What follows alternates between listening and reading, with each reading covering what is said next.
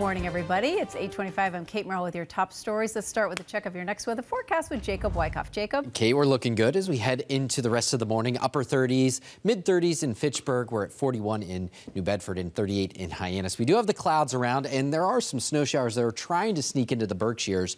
But for us, a lot of that precipitation will dry up by the time it reaches the ground. So we'll call it mid to low 50s for highs today couple of shower chances the later into the afternoon we go. And our seven day forecast features some pretty spring like temperatures, which spring arrives officially on Monday. We're back into the 50s heading into next week. Kate? Breaking news in Lawrence this morning an early morning fire destroying a package store and a cake factory. Firefighters telling us an alarm sounded in the cake factory around 4 a.m.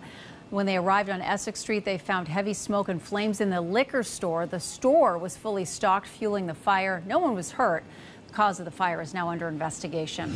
A local pizza shop owner is accused of preying on undocumented workers. Federal investigators say for 14 years, the owner of Stash's Pizza subjected his employees to mental and physical abuse. Detectives say migrants would work six to seven days a week, and if they tried to quit, he would threaten to deport them.